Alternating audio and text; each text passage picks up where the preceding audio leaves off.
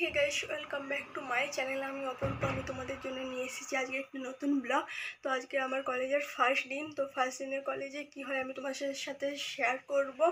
তো এখন আমাকে রেডি হতে হবে রেডি হয়ে আবার আসছি। তো টাটা। তো রেডি হয়ে চলে এসেছি, এখন বাস ধরতে যাব। দুর্গাপুর যেতে হবে, দুর্গাপুর থেকে আর একটা বাসে যেতে হবে। তো এখন বাস ধরতে যাচ্ছি সো টাটা। তো কলেজ এখন চলে এসেছি।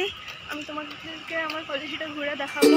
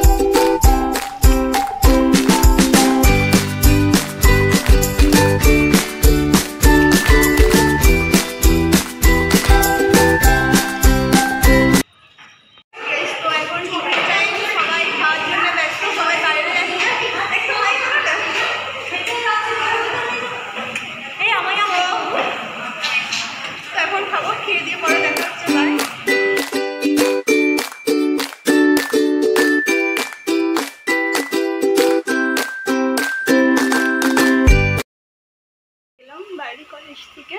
ভিডিওটা কেমন হলো সেটা আমাকে কমেন্টে জানাবে। ভালো লাগলে ভিডিওটা লাইক করবে আবার দেখা হচ্ছে পরের ভিডিও